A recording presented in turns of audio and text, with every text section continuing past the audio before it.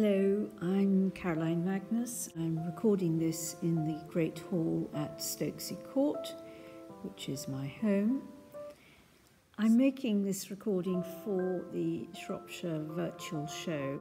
It's such a wonderful initiative, and I really hope it goes very, very well and raises masses of money for so many good causes. I'm really sad that we are unable to open this year, but I hope very much to be able to welcome everyone back either into the gardens later this year or, and hopefully too, into the house next year. Meanwhile, I hope you'll enjoy these short videos that I've recorded. Some of them were made earlier in the year when the gardens were really at their best. I hope that we'll be open next year.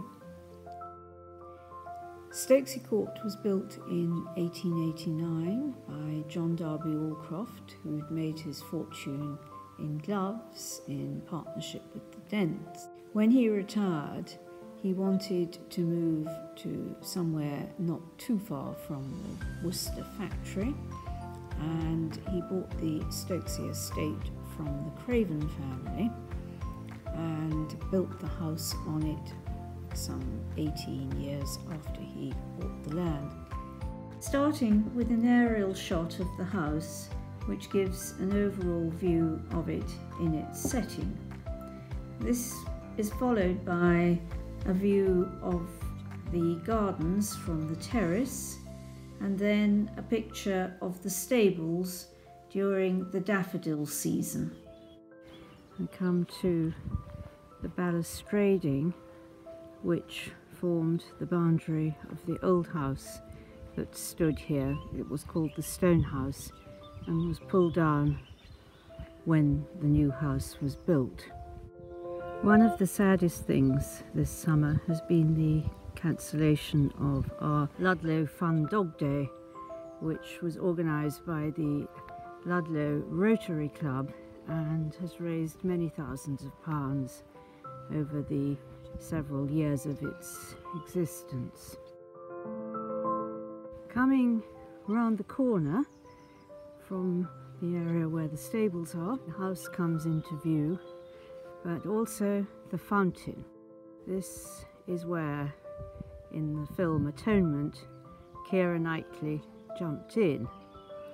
However, she didn't jump into the fountain in its present state because Working Title Films built a new fountain over the top of the existing one so that it was big enough for this amazing scene. The house is large, but it's also a very warm and friendly house. I very much hope that visitors will be able to come back. This is one of the best times of the year at Stokesay, when the rhododendrons are out in all their glory. So I'm walking down the back drive from the stables towards the pools. And you can glimpse the water through the trees.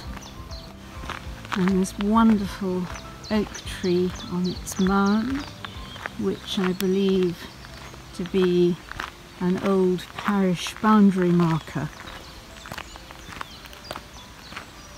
Over the years we've had to spend quite a lot on tree surgery to keep this tree standing and safe.